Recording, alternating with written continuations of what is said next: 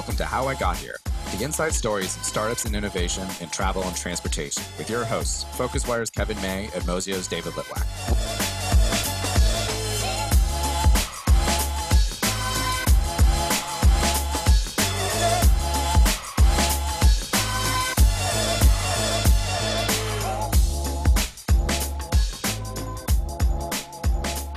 Uh, a very warm welcome. This is uh, How I Got Here, uh, PhocusWire and Mozio's uh, weekly podcast where we interview the innovators and leaders in travel and transportation and their startups.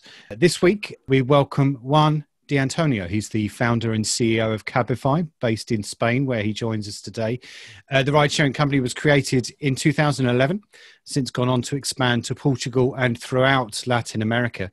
It's raised around $400 million to date from the likes of uh, Rakuten Capital, Inter American Development Bank, and a number of others. So, uh, again, a very warm welcome to Juan. Thank you so much for joining us on How I Got Here this week. Thank you, Gavin. My pleasure to be here. Thanks for inviting me. Okay, uh, tradition dictates, as we always say, that we ask you this very first question, and we're always uh, eager to hear what people have to say. And that is, can you tell us, Juan, how you got here? Sure. Um, t- today I, I, got here riding my bicycle, but I guess uh, you're referring to, to the company. So, um, uh, well, I it's a long story. I try to make it brief. Um, I, I love the mountains. I love the nature. And at some point in time in my career, I decided I, I wanted to work in something that was relevant for me. And, and, and there was, uh, I wanted more trees in cities and, and less uh, vehicles polluting the environment. Um, so I was working in, in the electric vehicle industry, trying to convince people that they should change their combustion engines for electric vehicles. This was back in 2010. People didn't seem very eager to pay a bit more for a vehicle with uh, lower top speed, lower range. remember, this was back in 2010. Uh, so uh, maybe they, they would be more inclined to subscribe or to pay for a, a, service where they didn't have to buy an asset and just use it. And uh, we thought that, uh, yeah, it would be easier to replace a fleet of vehicles that is shared as opposed to replacing uh, a whole, uh, I mean, all the private vehicles. No? So we created Cabify with the idea of uh, sharing vehicles and being able to use uh, vehicles that would be were better suited uh, for the environment. Um, and, and, that was the, the idea back in 2011. But of course, many things happened along the way. As you can imagine, we were close to, we, we, we lived several near death experiences, uh, survived through difficult times. And uh, yeah, now we're, we are uh, living a, a, moment, a critical moment again, because uh, through the pandemic, we've seen an increased use of private vehicles a decreased use of collective means of transportation. So it's, um, I mean, we, we, we are eager uh, to see what happens on the next decade and to try to, to make a, an impact here. Thanks for joining us, Juan. So I would love to hear kind of what your overarching strategies because there's a lot of um, there's a lot of trendy terms being bandied about in the um, in the mobility world, mobility as a service, MaaS is a big one. Um, you know, ride share, um, you know, and carpooling. There's a, there's a lot of you know kind of um, you know ways to position yourself. Um, how would you think of yourself as a company at Cabify? Uh, we think of ourselves uh, as a substitute to private vehicles, and that I guess the closest of the terms that you mentioned is mobility as a service. Even though we, we started as a ride-hailing company, um, you could use your phone to hail a vehicle, a vehicle could be a a P2P, a private hire vehicle, or a, a taxi. Uh, in, in, in the future, uh, we believe people will uh, buy a package of kilometers or a package of miles and uh, decide which mode of transportation they will want to use uh, at any given point in, in, in time. No? So um, we we have uh, ride-hailing options. We also have micro-mobility options within our platform. We also have subscription options. For, uh, you can rent a bike for, for a month within uh, the Cabify app. Uh, you can uh, hop on on a on a car that you drive yourself for a few minutes, uh, car sharing. Um, you can get a kick scooter, a moped. Um, so we we started in ride hailing, but with that uh, purpose of, of uh, providing you a true alternative to, to private vehicle ownership, we are providing you with several categories. Of course, this is easier said than done. We've uh, made a lot of mistakes along the way and, and had a lot of fun correcting them. well, so I'm curious, you know, so you mentioned a lot of different services there. I'm curious how you think about the differences between, you know, collaborating with others versus launching your own, you know, um, cooperation uh, or co-op coopetition versus do it yourself, right? The mobility world is incredibly fragmented. And um, how do you think about it? That is it by geography? You want to enti- you want to own the entire geographical stack? Is it by uh, type of transportation you want to own you're, you're, fine partnering for local locals with local scooter companies but you want to own the ride share um, how, how, what does that strategy look like yeah that, that strategy changes on a country per country basis there are countries where we have a, a really strong uh, presence in, in ride hailing and we have the bandwidth to uh, deliver other services ourselves and then there are other countries where we are less mature where we've been for uh, shorter period of time, and, and we partner with uh, other uh, companies to provide those services. Uh, looking at Spain, our most mature market, in Spain, uh, we, are, we even own vehicles ourselves. We are vertically integrated in the ride hailing space, uh, operating and, and uh, employing drivers ourselves. we operate a fleet of electric mopeds and electric scooters, and we also own uh, bicycles that we rent on a monthly basis. We partner, however, with third parties uh, to, to provide you a rental car or a, or a car uh, sharing by, by the minute experience. Uh, so yeah, it, it, it, varies. We adapt to the to the uh, nature of the geography. This is an extremely local business. I would even use the term term uh, ultra local because it's not about the city. It's it's also about the neighborhood and the density you can provide in every neighborhood. So we we yeah that, that's how we approach the, the problem. We adapt in each market. So you touched on something interesting. Is It's an extremely local problem, and I think this was one of the key misunderstandings of kind of the ride hail hype back when Uber was dominating a lot of the conversation. It was well, every Uber will eventually take over everywhere, blah blah blah. I know that was kind of the the, the overarching narrative. Um, I think that most people didn't realize that there how many local quirks there were. And I remember Taxify now Bolt, you know, surviving uh, in Eastern Europe because uh, Uber didn't want to deal with local taxis and local regulation. It sounds like part of your moat and part of your strategy has been to dive deep into into your local regions and just kind of focus on those regions. You guys are only in, am I correct, Spanish and Portuguese speaking countries? Is, is, is that correct? Yes. I mean, we are focused in Latin America and Iberia, although, I mean, it doesn't have it's not related to the to the language. It's, yep. it's mostly around which markets we saw uh, were a good fit for the product we were offering. In Latin, we started in Spain, and when we thought about expansion, we realized that in Latin America, people uh, didn't have uh, an alter- didn't have a proper alternative to to vehicle uh, private vehicle ownership. No? the subways, the the the, the, collective means of transportation were not as developed as they, they are maybe in, in Europe. So we, we thought that that was, or we realized that was a, a huge market opportunity. And, and the way we approached the problem and how we differentiated was, uh, well, thinking long term. We always uh, believed there, this was going to be a transformation that was going to require a number of years. It was going to happen overnight. And, uh, and we, we, we thought uh, this whatever we provided had to be sustainable, meaning that uh, the, the price point, for instance, uh, how we set prices, everyone had to win in that structure. We, we couldn't rely or we shouldn't rely on subsidies, on uh, unsustainable uh, pricing structures to, to create a, a market. The, the, the, driver had to make money, the passenger uh, had to find a, a, price point that they were willing to, to pay. Um, and uh, well, that, that uh, we, we, we tried to, to think uh, long term from, from the beginning, which had implications um, mostly around pricing. Yeah. I, I'm interested. So many of the startup founders that we have interviewed on how I got here are part of co-founding teams. You created Cabify on your own, but then brought in co-founders. Talk us through that kind of process because in some respects that's quite unusual. The co-founders are there from the very beginning as a like a team, but you brought yours in afterwards. Yeah, um, I mean, when we started the company, uh, we were doing zero revenues, and uh, today we are much bigger. So you could actually make a point that uh, everyone who joined the company, I mean, two years ago, uh, when it was you know one third of, of the size it has now, to some extent uh, they were also uh, co-founders.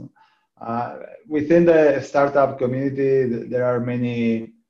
Um, a lot of romanticism around issues that maybe are not that relevant. I don't think uh, who, whoever started the company is, is the, the most, I mean, it's, it's, uh, that relevant. The, the, relevant part is who drove the company to, to, to find product market fit, who was there to push through the hard times and, and get the company where it, it needs to, to be. You know? And uh, other, I mean, so the, the whole founder term, I, I believe there's a lot of uh, undeserved credit for that. I'm, I'm more of a fan of, of uh, teams and, and managers and leaders and CEOs, if, if you will, rather than, than founders. And then there are many other issues that where we pay a lot of attention, such as the size of the round, the valuation. All these things are temporary uh, uh, features that don't speak to the to the value of this that you're creating or to the success of the company. You know? we, we tend to think success is, uh, I don't know, achieving the or, or closing the big round. I mean, for us, success is working in something that is important to us and uh, enjoying, wanting to continue working in, in that thing. As if uh, people in the startups are, are, I mean, are listening to this this podcast, they they know how, how hard it is to um, to drive a company forward, how much energy you can drain, what uh, how hard the roller coaster is. So uh, wanted to still be there, uh, being passionate about what you do is a, true success in, our, in our view. I, I, it, maybe maybe you will be offended by this question, but I'm curious because did you get annoyed in the early days with comparisons with Uber? because around the same time Uber was doing its big expansion strategy into Europe out of the US and was getting so much press coverage in a lot of the kind of the tech the tech media and in the mainstream media did you find any comparisons to be helpful or were you just annoyed if you got those comparisons there, there are benefits and uh, you belong to a category and there are uh, disadvantages of course uh, it's helpful that people know what you do and understand it easily. Uh, on the other hand, uh, you might get uh, punished for the sins of, of others, no? Meaning that they believe you might commit the same mistakes. In our industry, yeah, there, there, was a name that was very well known, but they didn't invent the industry. There were other players before them. Actually, the, the P2P business, which uh, is what everyone uh, now sees as the, as a ride-hailing industry, was really invented by companies like Sidecar or, or, or Lyft, no? Uh, but uh, sometimes, uh, yeah, we, we focus on who is bigger and, and uh, yeah. So in, in, any case, it's um, it, it was helpful for the category, but some of the practices that they they used uh, were not very helpful to, to be associated with. Uh, we, we, took a very different approach to the market. Uh, again, mentioning that we, we, we were looking at, at building a sustainable industry. Uh, we, we really uh, had to st- strengthen the points of differentiation and, uh, well, uh, had to leverage also the, the advantages of, of belonging to a known category. Yeah. And did you find in those first few years, Juan that you were able to capture the attention of investors because of the general growth of the market? I mean, it, was it easy to get the doors to investors open to have those conversations? So actually, um, I mean, there were very aggressive tactics back then in the market. Uh, uh, typically, I mean, and this is public. Some people were in order to see or have access to uh, invest in some of these companies, they, they had to um, sign some sort of uh, document where they, they would commit not to invest in other companies. They were also very uh, similar aggressive tactics being used with, with lawyers. I, remember as I was uh, about to close our series, uh, probably C, when Rakuten uh, was going to write our first big check over $100 million. I received a, a call from uh, the, the lawyer we had back then telling me that uh, he had to stop representing us if, if he wanted to have a chance to ever represent uh, uh, other client in the in the industry. No? Uh, and imagine, I, I, was in, in Tokyo closing that deal I leave the, the law firm I was working for uh, five or six years already, and decided to to stop working just to have a chance to, to work with another another company. Uh, similar things happened with uh, investment banks for a while. So yeah, it, it was it's a it, was a fun ride for. Yeah. So I mean, you mentioned well, you know, I think government is actually an interesting to actually touch on here. Um, so you guys pulled out of parts of Catalonia at one point. I'm actually not sure if you, you came back and, You know, LATAM has the occasional taxi protests, and I think I don't go a, a month without seeing some article about someone burning a taxi or, or a, a Uber in protest in Barcelona. Um, and so I think there's, you know, there's an interesting uh, government ecosystem that you kind of have to operate within. And um, said competitor you allude to but never name, he who must not be named, is, uh, is, is notable for having an ask for forgiveness, not permission uh, attitude. How have you guys, uh, you know, navigated uh, that yourself? Um, we took a very different approach, um, a very collaborative approach with uh, existing, I mean, with communities in general. Uh, first, with drivers, we, we care about uh, our drivers. We, as, as I mentioned in Spain, for instance, they are fully uh, employed. Uh, also, with the cities where we operate, we within our principles, we, we have one where we say that the, the city is our customer. No? So we need to do what is right for, for our cities. And, and, that means that we need to work with uh, the, the regulators and, and respect the laws. Uh, of course, fiscal laws, uh, tax laws. I know this is a big um, this is a big uh, issue around technology companies. Why are uh, technology companies avoiding paying taxes in the countries where they operate? That's uh, I, I, don't see an explanation for that. I mean, if you truly want to, um, to build value and, and improve uh, the, the communities where you operate, maybe, yeah, you have to uh, follow certain basic principles. No?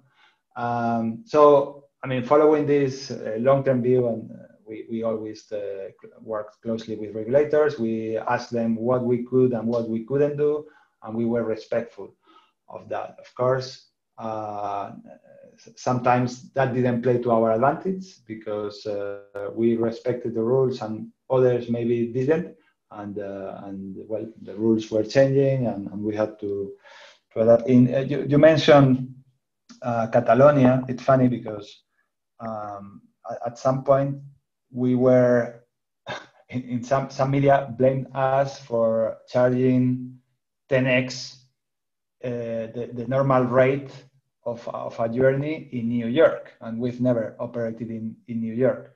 So this is what, what I mean by being punished for for uh, sins that other other commit. But but now I, I wanted to make a, a, clarification because I mean we are the only one. Uh, we, we, don't have uh, Uber operating in, in Barcelona. So if, if you see images of things happening in, in Catalonia, that must be a Cabify.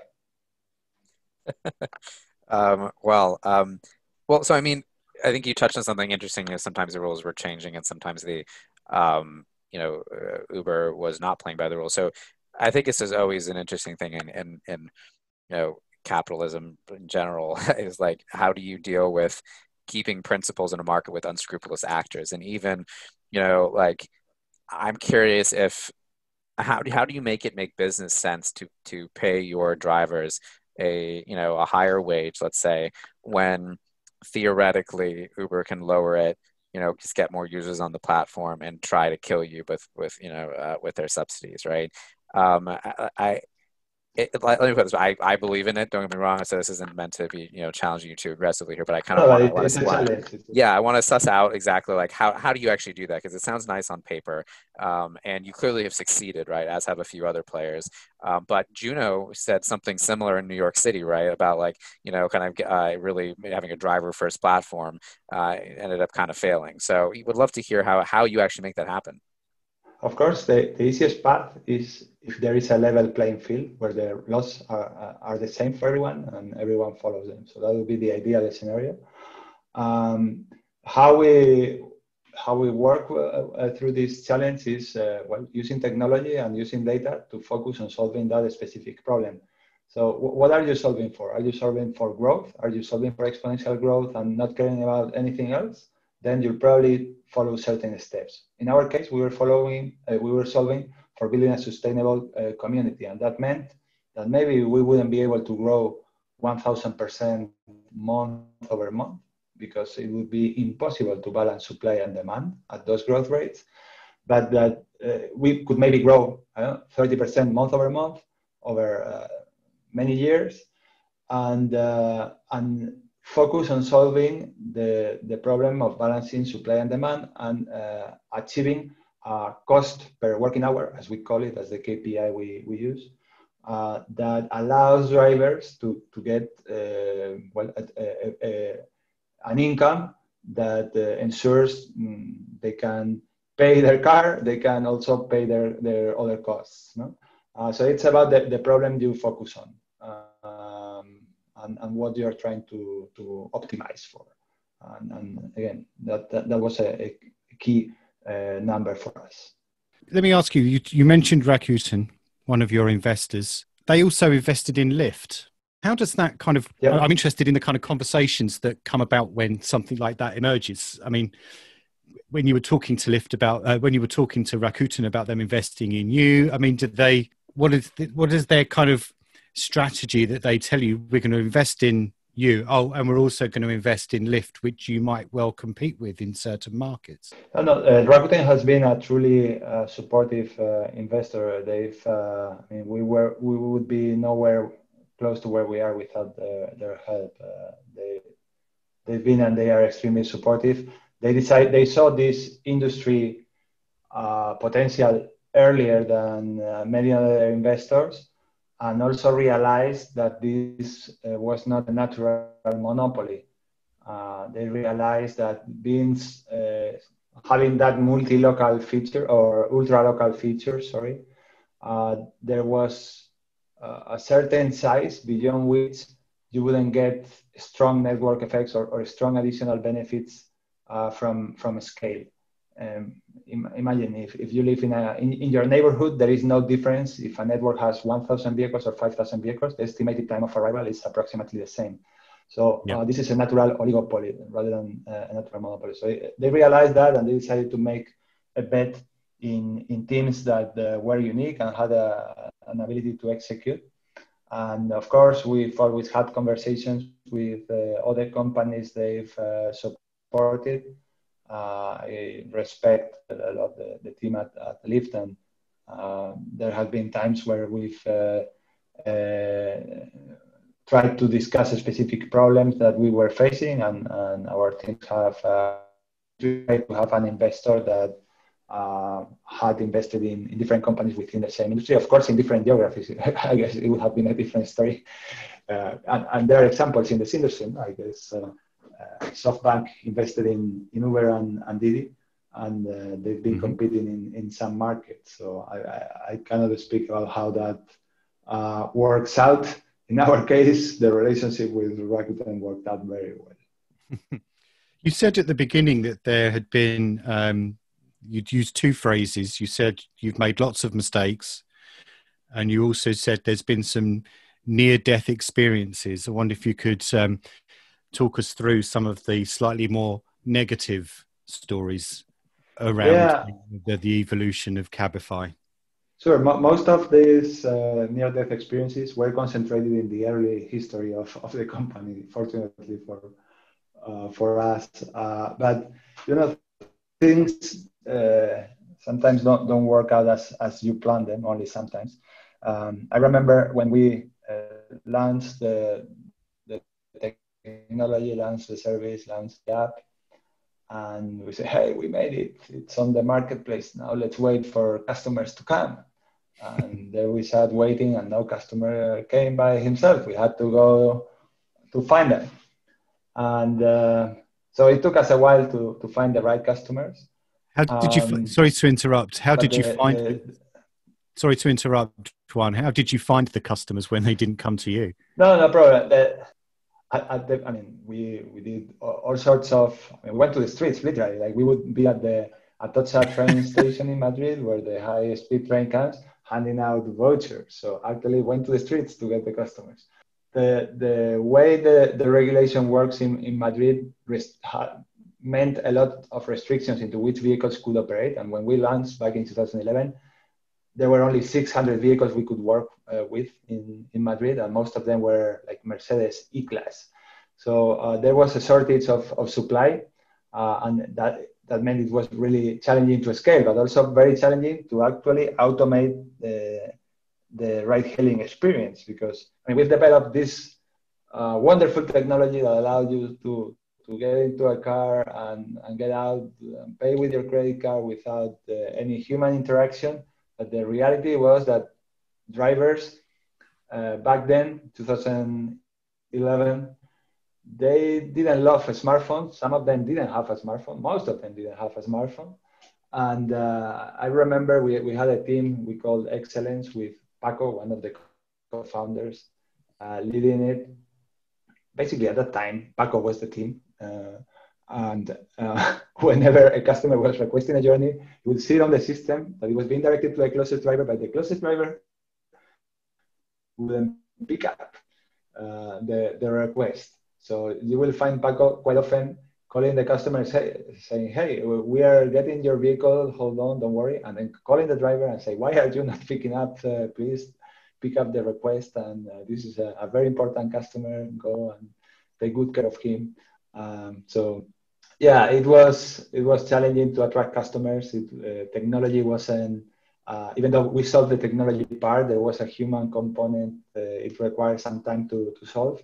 And uh, we were burning more cash than what we had anticipated. You, you mentioned the amount of cash approximately we, we've raised, but back then uh, we were raising 100, 200K a month, and we were burning approximately the same amount. Uh, in 2000, we, we didn't close our Series A until 2014, almost three years after we, we had launched. And we were already operating in, in four countries in Spain, Mexico, Peru, and Chile, in, in four big cities. Uh, in total, we probably had raised $2 million, uh, which of course we were burning every month over the, that period of, of, of, three years. So uh, sometimes we just run out of cash. And uh, I, I, of course, I didn't have a salary for, uh, for a long period of time. And even when I had a salary, I had to stop taking that salary because we were running out of cash. Um, at one point in time, people uh, uh, decided they wanted to reduce their salaries and get more stock, um, all, all, sorts of things, as, as you can imagine. We, we made big mistakes because we didn't realize how expensive it, it was to launch these these cities, and we, we had this presence in, in four cities and no cash to, to support our position. So it was it wasn't until in February 2014, Seaya Ventures, a Spanish uh, VC, uh, uh, funded our Series A that we were able to actually uh, plan for the for the midterm and, and execute well. I'd like to move on to um, more upbeat things in a moment, but uh, I I think it's it's useful to ask you because there are a number of stories that I've read with regards to uh, the death of uh, a passenger in I believe it was um, in uh, Mexico, and without going into the details of that and and some of the you know there, there was a panic buttons were installed afterwards. What I'm curious in particular about Juan is how do you as the leader of a company take the organization through a period like that when something so devastating to you know the family of that girl and perhaps the potential brand damage i mean how, how do you lead a company through that we, we operate in markets with a high level of violence um, one of the one of the main attributes we've built during these years is, is safety. is one of our biggest differentiators versus other brands. Um, if, if, we build for the long term, uh, you need to ensure, uh, yeah, you you provide additional attributes beyond uh, price and, and time of arrival. And, and, we focused on safety, we focused on um, on quality, we focused on uh, sustainability. No? Uh, this said, and when you do millions of, of journeys and you operate in, in a country uh, with that degree of, of violence, at some point you're going to encounter a, a challenge. And uh, uh, it's not enough to be 99.99999% safe. You, you want to, to be 100% safe because you're talking about people, you're talking about lives. Um, this, I, I, guess you're referring to the uh, to Mara who was uh, assassinated in in in Puebla in Mexico. Uh, right. It was terrible. It was terrible for for everyone, starting of course uh, for her family and relatives. And the company did everything we could to to, to try to clarify what happened and of course uh, introduce additional safety measures after that uh, death. But uh, even though it, it was tragic, maybe that wasn't uh, I mean, the, the, the, biggest challenge in our industry, it's around safety for, for drivers. Um, maybe uh, media picks up, uh, picks up more stories about, about passengers because we feel closer to, to passengers, but uh, where we've put, uh, where we have to put a lot of effort as well is, is on, on the safety of, of drivers.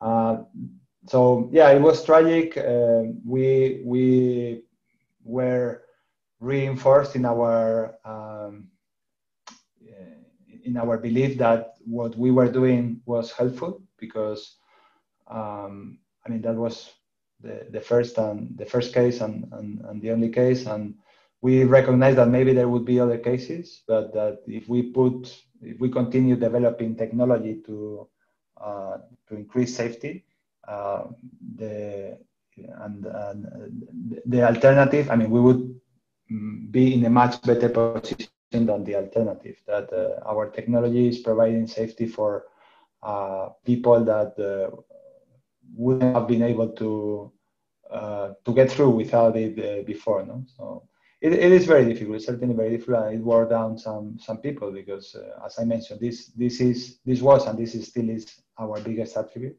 So it was very um, surprising that something like that happened. The first thing we had to do was to acknowledge that, uh, yeah, with volume, mm, you will always find uh, these tragic things if, if you operate in countries uh, like this.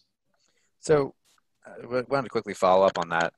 Um, I remember I landed in Cancun, you know, a few years ago and noticed that you guys didn't serve Cancun. And I just checked your website and I don't think you still do unless I'm, mistaken. But um, I remember I asked around and asked why Uber and no one else seemed to um, do anything in Cancun. And someone told me, and I don't really know if this is uh, true or not, if it's could be, as I say, you know, I'm aware that it sounds like maybe something they tell Americans to scare them. Um, but uh, that potentially um, it was because the cartels owned a lot of taxi companies in uh, in Cancun, and no one really wanted to mess with that. And one, I don't know if that's true. We'd love to understand if it is, but um, I think it begs the question: is like, where's the line, right? Like, clearly. Um, there's a line where you go, okay, this we're just not even going to operate in this market. Um, it's dangerous, but there's a level of danger that like we don't want to um, get involved in. How do you draw that line, and why not Cancun? Yeah. Um, so yeah, we um, the the most surprising part is that uh, maybe the places where our drivers have suffered more violence are not the ones where you would expect. We operate in countries that uh, have high uh, intensity of violence. Think of Mexico, think of uh, Brazil, uh, Peru, Colombia, uh, well, compared to, to Spain, um, you would expect them to be much more violent.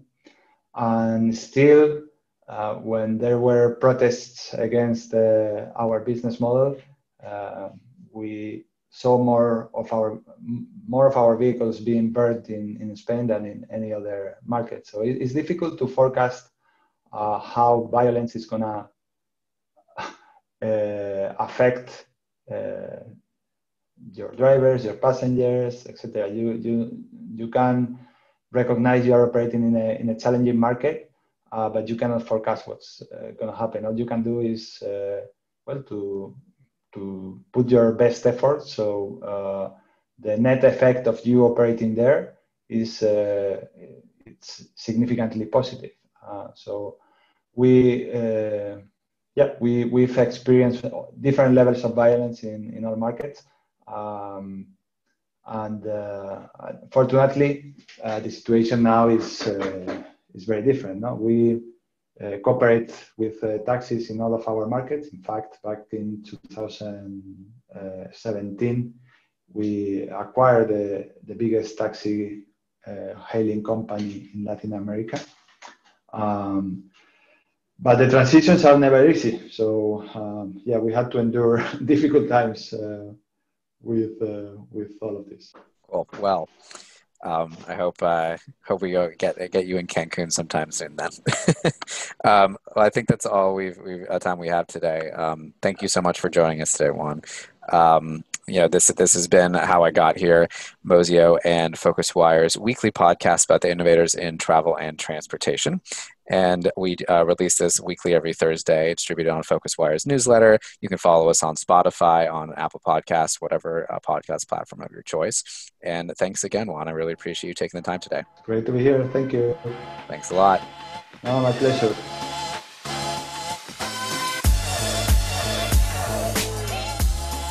Thanks for listening to the How I Got Here podcast. We'll be back next week with more insight stories behind startups and innovation in travel and transportation.